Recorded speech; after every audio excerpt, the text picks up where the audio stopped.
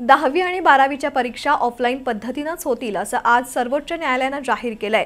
काही विद्यार्थ्यांनी दहावी बारावीच्या परीक्षा ऑफलाईन ऐवजी ऑनलाईन घ्याव्यात या मागणीसाठी सर्वोच्च न्यायालयात याचिका दाखल केली होती.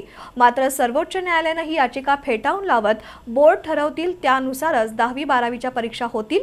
परीक्षा कशा घ्यायच्या हे ठरवणारे तुम्ही आम्ही कोण असं विचारत याचिकाकर्त्यांना चांगलंच झापलं. यापुढे अशा याचिका घेऊन याल तर दंड ठोठावू असंही सर्वोच्च न्यायालयानं स्पष्ट केलंय. त्यामुळे दहावी बारावीच्या परीक्षा जाहीर झाल्यानुसार ऑफलाईन होणार हे नक्की झालंय. कोरोनाचा सर्वाधिक परिणाम शिक्षण क्षेत्रावर झालाय. दोन हजार वीस आणि दोन हजार एकवीस या दोन्ही वर्षी दहावी आणि बारावी परीक्षा पूर्ण क्षमतेनं झाल्या नाहीत. अंतर्गत मूल्यमापनाच्या आधारे विद्यार्थ्यांना गुण देण्यात आले. यंदा या दोन्ही परीक्षा ऑफलाईन पद्धतीनं होतील असं बोर्डांनी जाहीर केलंय. मात्र बालहक्क चळवळीतील कार्यकर्त्या अनुभा श्रीवास्तव साही यांनी सर्वोच्च न्यायालयात याचिका दाखल करून दहावी बारावीच्या परीक्षा ऑफलाईन पद्धतीनं घेऊ नयेत अशी मागणी केली होती. त्यावर आज न्यायमूर्ती खानविलकर यांच्या पीठापुढं सुनावणी झाली.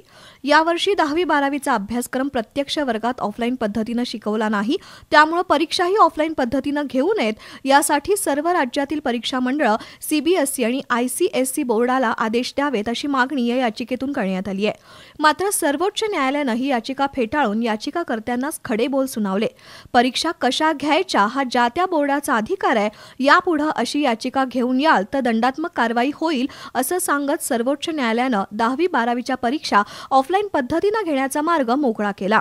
त्यामुळे संपूर्ण देशातील सर्व बोर्डांना दिलासा मिळाला असून आता जाहीर केल्यानुसार ऑफलाईन पद्धतीनं परीक्षा होतील असे स्पष्ट संकेत आहेत.